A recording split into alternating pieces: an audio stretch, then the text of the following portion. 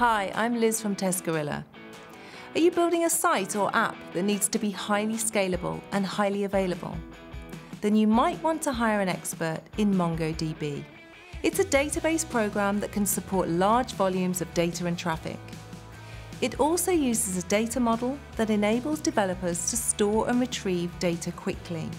And with Test Gorilla's MongoDB test, you'll be able to find experts who can use the system to manage your data effectively. It's easy to find this test in our test library and add it to your assessment. You can do it in just a few clicks.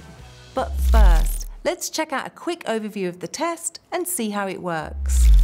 This test evaluates candidates' skills in several key areas of MongoDB, namely security, infrastructure, performance, and reliability. The questions here use scenarios that candidates will typically encounter while on the job.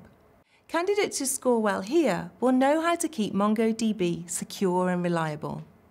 They'll be able to plan a good infrastructure with large data sets and get the best performance out of MongoDB at the best cost.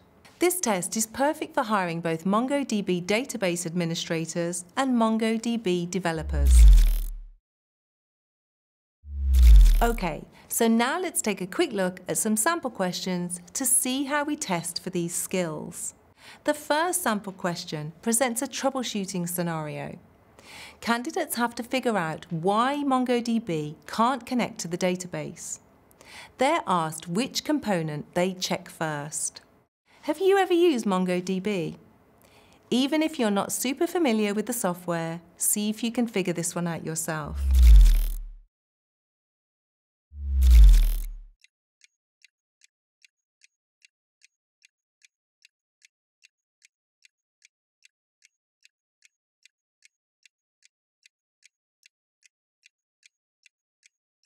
Okay, time's up. Here's the right answer for this one. The next sample question presents a scenario that deals with data security. Questions like this ensure your candidates will know how to keep your data safe with MongoDB. The third sample question is about troubleshooting multiple error statements found in the MongoDB logs. And the fourth and final sample question is a true or false. This one deals with optimizing performance. And that's a quick look at our MongoDB test. Make sure to check out this test in our test library to learn more.